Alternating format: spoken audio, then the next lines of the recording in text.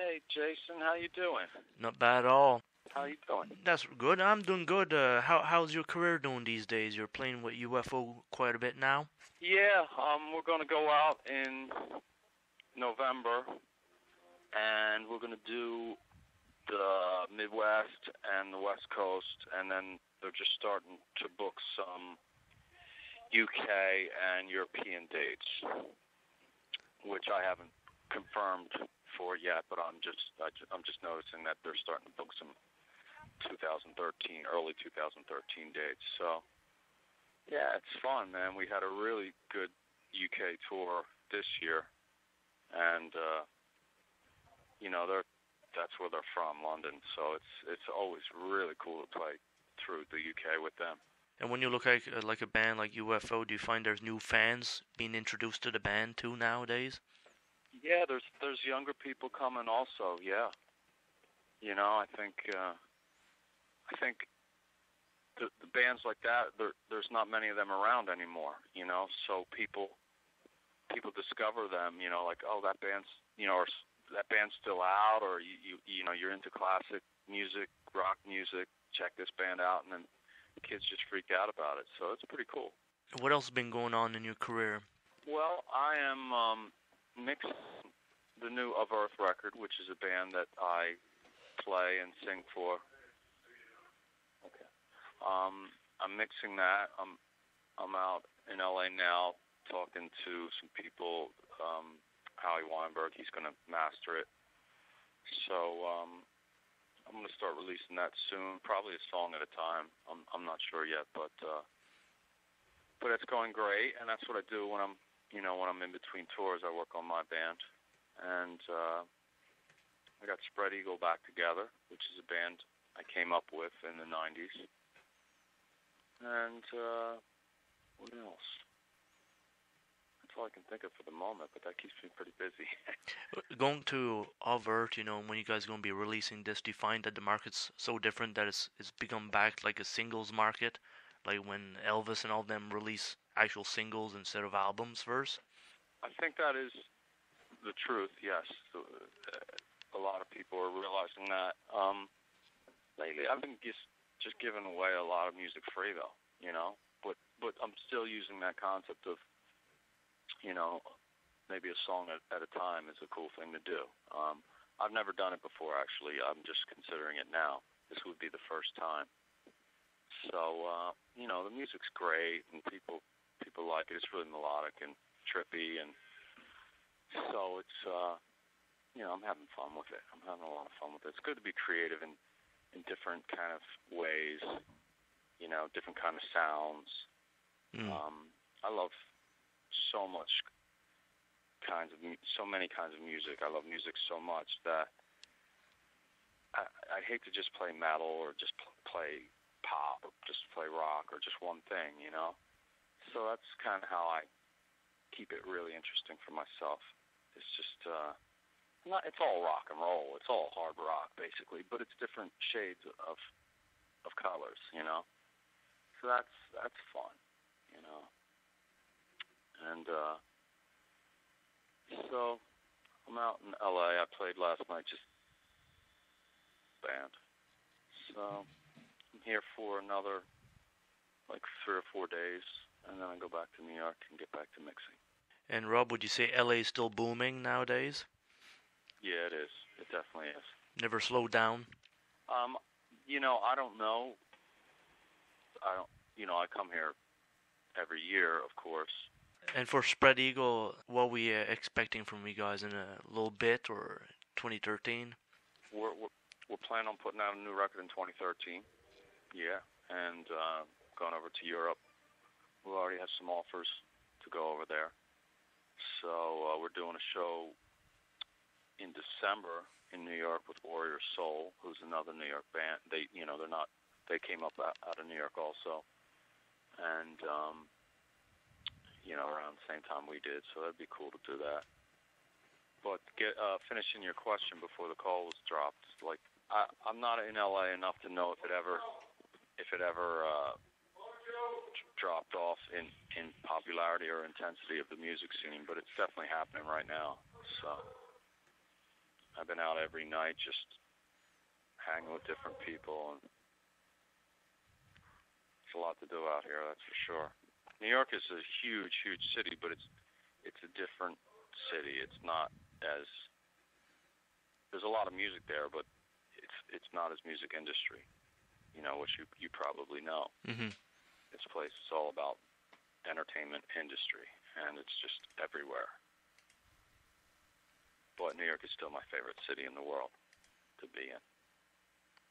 And going, you know, to UFO, let's say, and when you look at the catalog they got, I'm sure there's certain eras you really appreciate of UFO. And which ones would they be?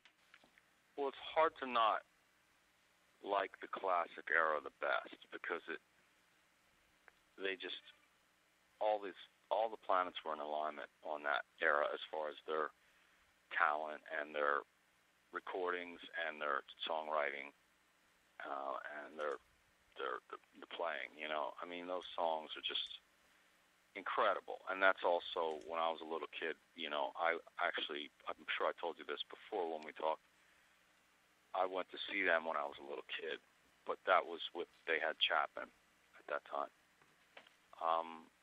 Think the Vinnie era era is really good. They're writing some really great stuff. Vinnie's writing some really great stuff, and definitely live. I think it's the best since like '79, in my opinion.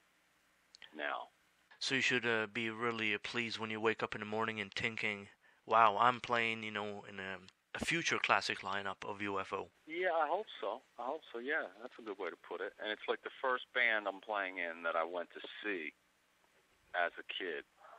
You know, like I played with a bunch of people, but um, but this is the first band that I'm playing in that I went to see where I was one of the kids in the in the audience with my fifth aid and you know, so it's pretty wild. Rom and so cool and they're always so uh, musically and personally Mhm. people. Rob, endorsements and stuff. How you doing on that? What you uh, carrying nowadays? Well, I'm not endorsing anyone. Really need and the only th- only endorsement I I need is strings, and and I gotta pers- I gotta look into that um, because because I use really old vintage gear. You know, my basses are all from the 60s or 70s, depending on which band, backline or a rented amp. My amps are all from the early 70s. You know, I use SVTs, vintage SVT Mhm. heads and cabinets, and I use 60s P basses or 70s Thunderbirds. So I understand musicians, you know, wanting to get free stuff in in return for, you know, their their likeness, you know, their picture or their endorsement or whatever, like you know, or their words. But if you don't, if you really don't need need that particular gear, meaning new gear, then I don't really, you know, I don't really see the need for me to do that, you know, because no offense to those companies or their new instruments, but they don't sound like the old instruments or the old amplifiers. So that's my take on it, you know. And that is a good point, considering you know when you're playing the classic gear, you do actually have classic gear which the people want to sound like. That's right. Yeah. But but I, I don't do that just because I'm in UFO, which is a classic band. I've done that all along. I'm I'm really into the vintage gear sound because it's actually to me it's more modern than you know like it doesn't sound dated. It just sounds bigger and fatter and meaner and more toneful and more harmonic region and just so I think it's hands down better than new gear. So that's why I don't I'm not really pursuing any endorsements with with new gear. It, believe me, I have nothing. I have no problems with something that's new, and if it sounded better, I'd be using it in a second. But it, to me, and to a lot of other people, it really doesn't sound better. You know. That is very well said, Rob. Thank you. Very well said. And Rob, on Of Earth for this band that you got the songwriting, uh, how long have you been uh, doing this? Let's say for this upcoming album. Well, we released the other one in I think 2010, and then I, you know, I was flip flopping between Sebastian Bach and UFO quite a bit touring. So it's been a couple years, but I haven't had till this the last few months to really work on it much. So, um, but it's been, you know, the, the other record was released in 2010, the debut, and this is our second record. Well, look forward to hearing what you got in this one. I'm sure it's going to be a very good sounding. Thank you.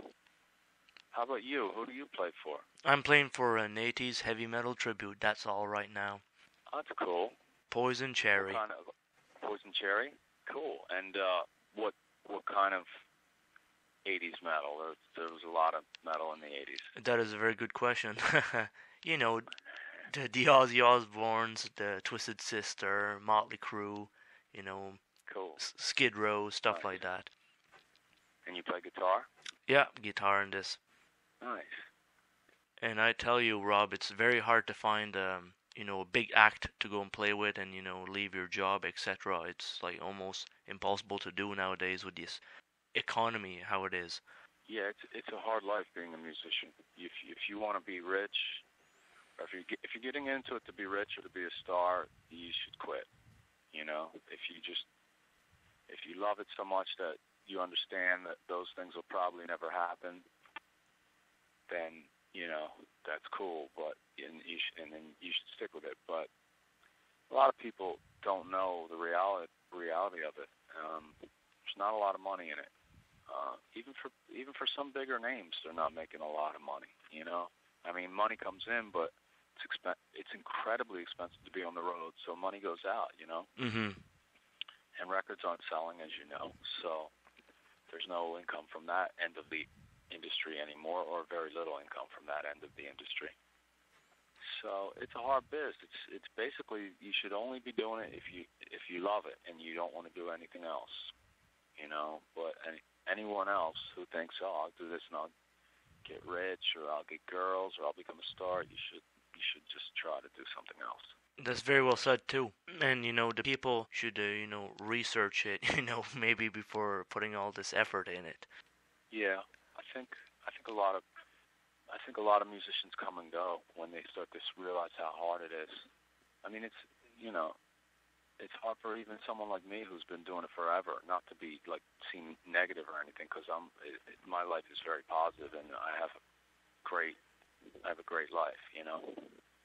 But uh, you know, there's times in between tours where you have to bartend or whatever, or Mm. you know, or there's times where tour doesn't happen and they're like, oh, it didn't come together. We're gonna we're gonna do it in three months or something, and you're like, oh, all right, you know, Yeah. okay, what am I gonna do now? So it's you, you, the only reason you should be doing it is is because you love it. Because there's a lot of reasons not to do it, and uh, maybe that'll turn around. But you know, I think in the history of the world, musicians were only rich for a very short part of that. Um, you know, there was that era with like the the Poisons and the and the um, Def Leppards were, you know, and, and the GNRs were where they were selling 10 million records, but but that that's gone. And and most of the time in the in the history of of entertainment and music as entertainment, they were just hired by like you know kings and things Mm. like that to entertain, and they weren't rich. You know, getting rich as a musician is is a r- relatively new concept. You know, it started in the last 50 years. So for the most part, you know, and that's fine. If you love it, that's fine. As long as you're making a living, it's a wonderful thing.